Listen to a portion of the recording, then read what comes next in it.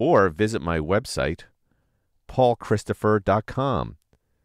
K R I S T O F F E R. Thanks and have a great day.